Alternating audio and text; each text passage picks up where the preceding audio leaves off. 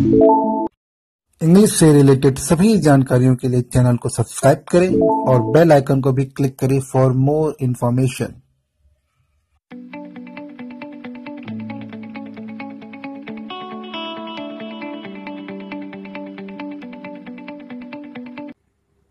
hello friends आज हम बात करेंगे आपके क्लास नाइन के फ़र्स्ट चैप्टर के शॉर्ट क्वेश्चन आंसर के।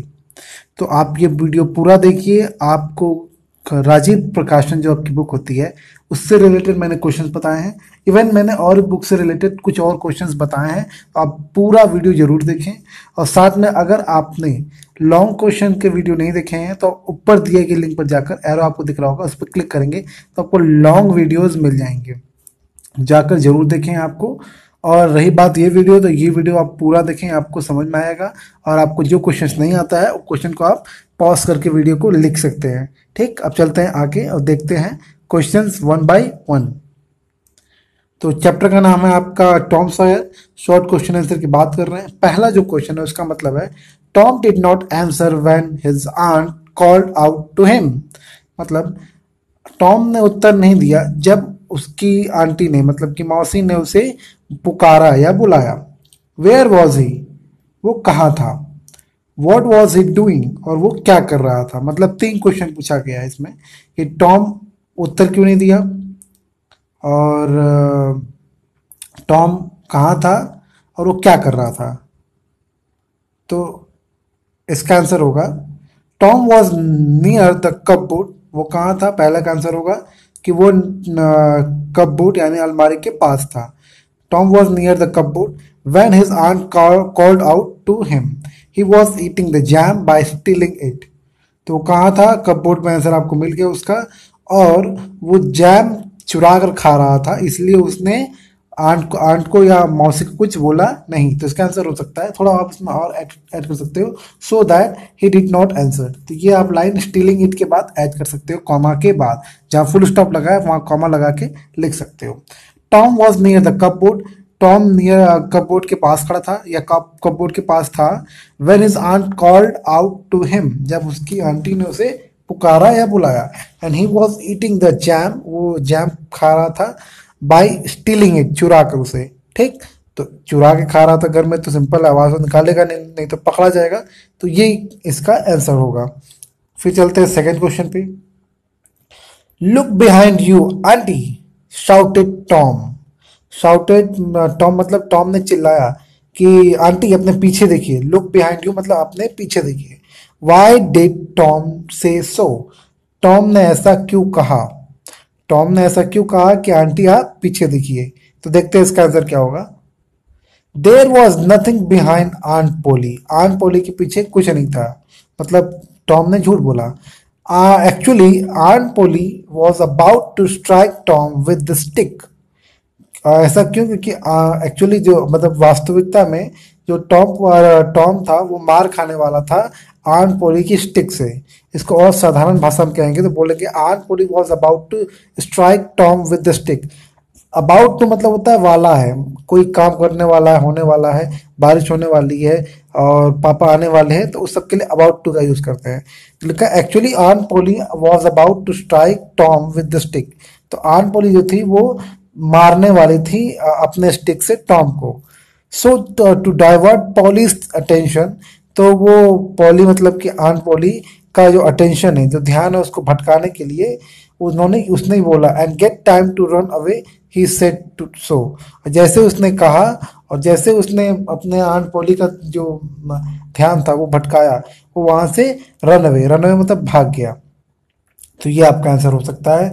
इसमें आप इम्प्रोवाइज और कर सकते हो और आपको मैं बता दे रहा हूँ वीडियो देखते हुए कि अगर आपको क्वेश्चन जो क्वेश्चन का आंसर आपको लग रहा है कि थोड़ा डाउटफुल है तो आप एक काम कर सकते हो, आप कमेंट मुझसे क्वेश्चन पूछ सकते हो। साथ में अगर आपको टीचर ने कोई क्वेश्चन बताया होगा, उसका आंसर मेरे से रिलेट नहीं कर रहा है, या हल्का फुल्का रिलेट कर रहा है तो आपको जो ईजी लगे, आप वही याद करो। ठीक? ज़्यादा आप बाउंड बाउंडेशन मत लगाओ कि मैंने सही लिखा है कि उसने सही लिखा है, या उन्होंने सही लिखा है, ऐसा कुछ नहीं है। आपको जिसका सही लगता है, सबने सही लिखा है लगभग अगर टीचर ने लिखवाया तो सही लिखवाया होगा। तो कृपया करके आप वो देख के आंसर लिख सकते हो। थर्ड क्वेश्चन होगा why was it necessary to punish Tom मतलब ये ज़रूरी क्यों था? टॉम को पनिश करना टॉम को दंड देना ज़रूरी क्यों था? How did aunt poli punish him और आन पोली ने उसे पनिशमेंट क्यों दी? उसे दंड क्यों दिया? तो इसका आंसर थोड़ा सा लंबा है। क्योंकि दो क्वेश्चन है, इसलिए थोड़ा सा लंबा है। It is it was necessary to punish Tom ये बहुत ज़रूरी था कि टॉम को पनिशमेंट यानी कि सजा दी जाए।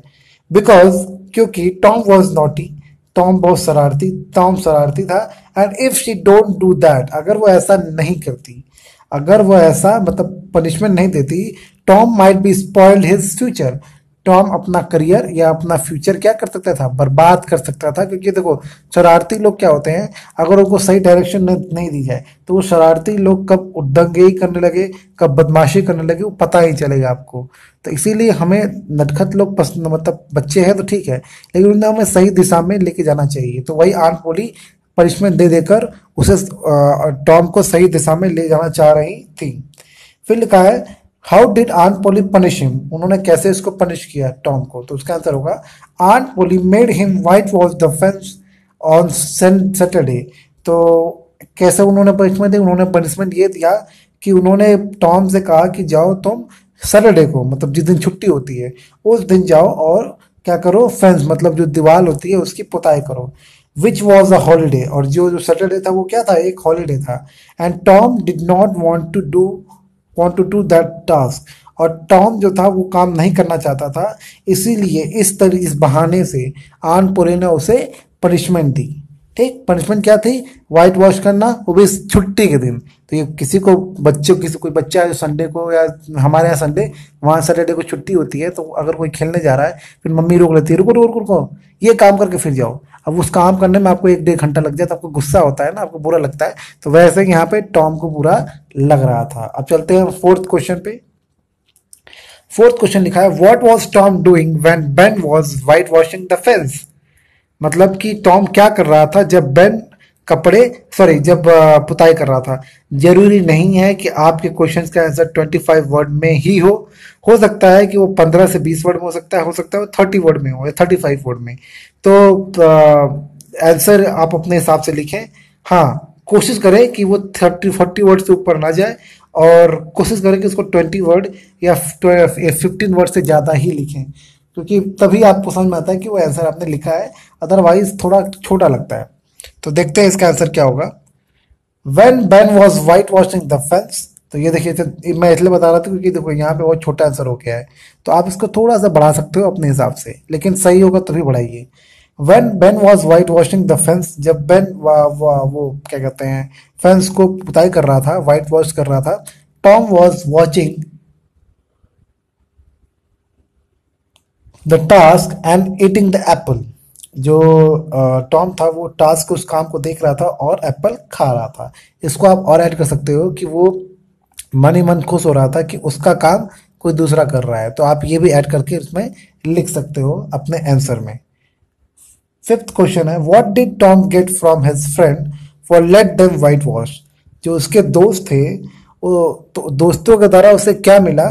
पुताई करने के बदले। मतलब जो सबको उसने चढ़ा दिया कि भाई पुताई करोगे तो अच्छा लगेगा, ये लगेगा, वो लगेगा तो सबने क्या किया? कुछ ना कुछ उसे दिया। तो वही लिखा है कि पुताई करने के लिए सब सभी दोस्तों ने उसे क्या दिया?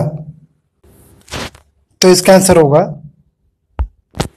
Tom got many things, such as twelve marble Tom ने काफ़ी चीज़ें पाई, जैसे सच एज मतलब जैसे जैसे ट्वेल्व मार्बल बारह marble a tin soldier a tin soldier मतलब कहने का मतलब है खिलौना, सोल्जर का सैनिक से आकार का खिलौना खिलौना होता है ना सैनिक के स्टेचू जैसा वो, चाबी, अक्की डॉग कॉलर, डॉग का जो कॉलर होता है जिसपे पट्टा से बोलते हैं, वो, the handle of a knife, ना, छुरी की जो हैंडल होती है वो, and four pieces of orange और चार ऑरेंज की पार्ट यानी कि जब ऑरेंज आप जब खाते हो, उसमें कई सारे पार्ट्स होते हैं ना उनको छीलते हो तो अलग अलग पार्ट आप अपने घर में बांटते हो, सबको एक अब मतलब मान लो एक संतरा है तो आप अपने पापा को, भैया को, दीदी को, सबको देते हो थोड़ा थोड़ा मम्मी को तो वही पीस मतलब वही कहने मतलब है। तो लिखा है four pieces of mango from his friend for let them whitewash तो ये सब चीज़ें उसने पाई। क्यों पाए क्योंकि उसने एक तरीके से अनुमति दे दी व्हाइट वॉश पुताई करने के लिए फेंस की। तो बड़ा चालाक था और उसने ये दिमाग लगा के ये काम कर भी लिया और काफ़ी चीज़ें पा भी ली। सिक्स क्वेश्चन देखते हैं। Why did Tom not like the painkiller Tom painkiller को लाइक क्यों नहीं करता कर, आ, करता था या किया? Whom did he give it to और उसने वो जो पेन किलर है वो किसे दिया? तो इसका आंसर होगा the painkiller had the taste of fire जो पेन किलर था उसके वो कैसा टेस्ट था? उसका टेस्ट क्या था? उसका टेस्ट था जलने जैसा मतलब उसको जब ले स्वाद ले रहा था तो कुछ जलने जैसा महसूस हो रहा था। So he did not like it तो इसलिए उसको वो पसंद नहीं था। तो पहले क्वेश्चन का आंसर हमें मिल गया। तो लिखा whom did he get give it to तो इसका होगा he give it to a cat who just came into the room तो उसने एक बिल्ली को वो दवा दे दी और पेंट कर दे दिया, जो जस्ट मतलब कि तुरंत ही वो रूम में आई थी। उसको पकड़ के उसने वो दवा दे दी उसको किसको?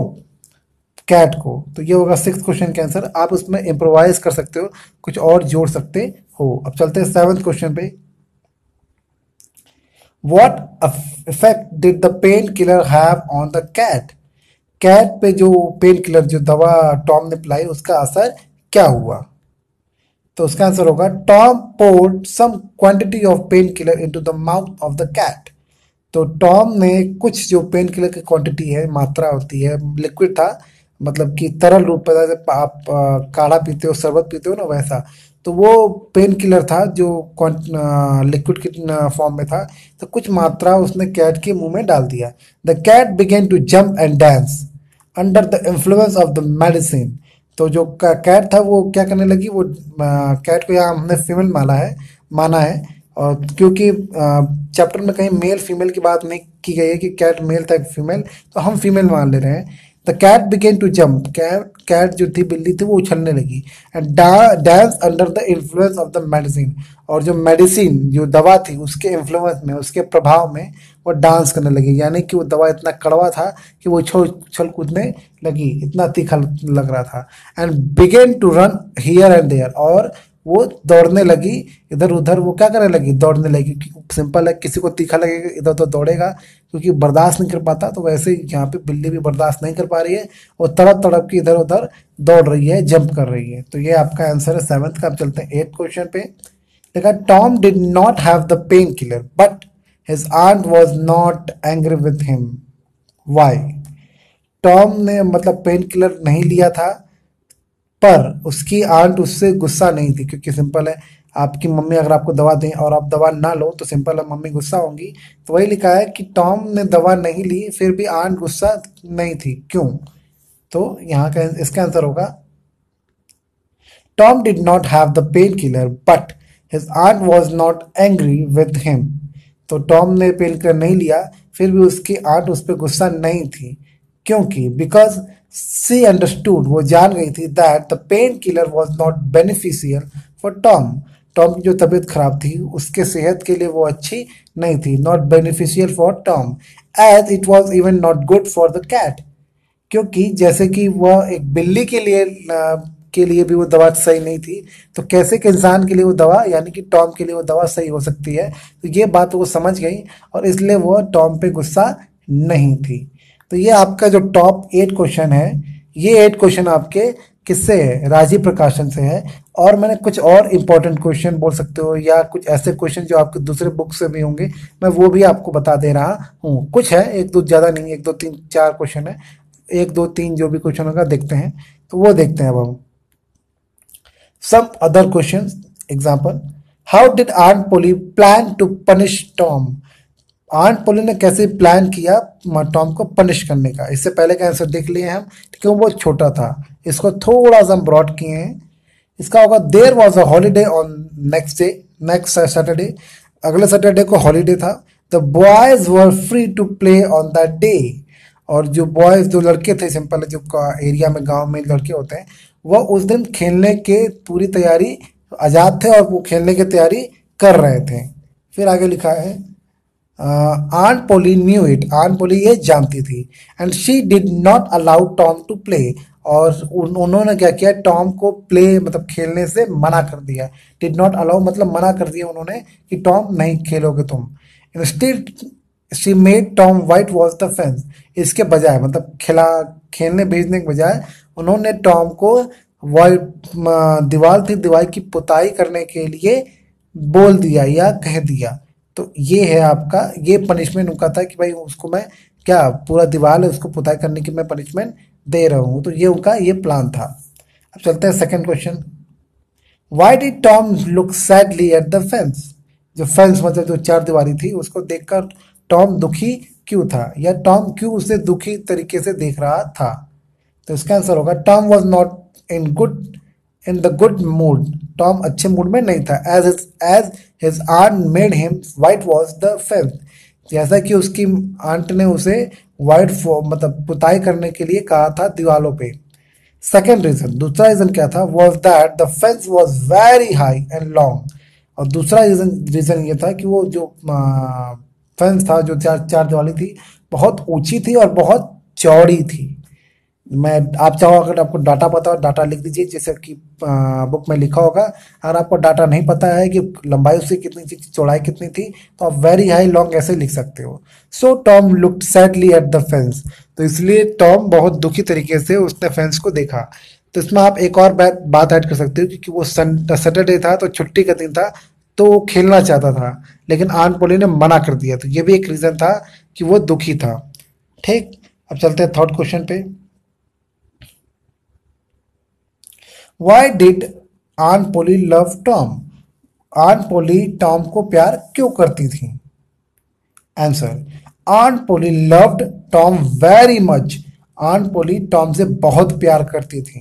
As he was the son of her dead sister क्योंकि जैसे कि वह उसकी मरी हुई, किसी आन पोली की मरी हुई बहन का वो भाई बेटा था तो इसलिए वह उसका ख्याल रखती थी। And she brought up with with love and care by Polly और उस, उसने क्या किया? उन्होंने किसने? लेडी ने आन पोली ने उसे बड़ा किया विथ लव प्यार के साथ। केयर बाई पोली और उन्होंने उस किसका? टॉम का ख्याल रखा किसने? पॉलिन ने टॉम का और ख्याल रखा। फुल स्टॉप जगह आप लिख सकते थे। सॉरी एंड जहाँ मैंने लिखा है लास्ट लाइन पर आप देख सकते हो स्क्रीन पर लास्ट लाइन जो लिखा है पॉली से पहले वाला एंड केयर बाई वाला। तो आप वहाँ एंड की जगह फुल स्टॉप लगा सकते हो। She brought up with love full stop फिर लिख सकते हो he was cared by Polly he मतलब टॉम की बात हो रही है आप इस तरीके से भी लिख सकते हो। तो ये है कुछ इंपॉर्टेंट uh, क्वेश्चंस या कुछ अलग क्वेश्चन जो आप देख सकते हो, जो आपको लगेगा कि ये इंपॉर्टेंट है एग्ज़ाम में एक क्वेश्चन इसमें से आ सकता है इस चैप्टर में से। तो तैयार रहिए, इसको ठीक से याद करिए, समझिए, जानिए, और अगर आपको वीडियो पसंद आ रहा है, आपको लगता है कि इसका आंसर और लोगों को देना चाहिए तो इस वीडियो को ज़रूर शेयर करें, और लाइक कर दे वीडियो को, और सब्सक्राइब कर दे, ताकि आपको नेक्स्ट वीडियो का भी एक्सरसाइज और साथ में हिंदी एक्सप्लेनेशन भी आपको मिल जाएगा। तो आप ज़रूर वीडियो को लाइक करें शेयर करें और चैनल को सब्सक्राइब करें। आपको बहुत सारी इन्फॉर्मेशन मिलती जाएँगी अलग अलग दिन पे अलग अलग सो so, वीडियो आपको बहुत बहुत धन्यवाद। आपने पूरा वीडियो दिखा इसलिए आपका बहुत बहुत धन्यवाद। Thank you for watching this video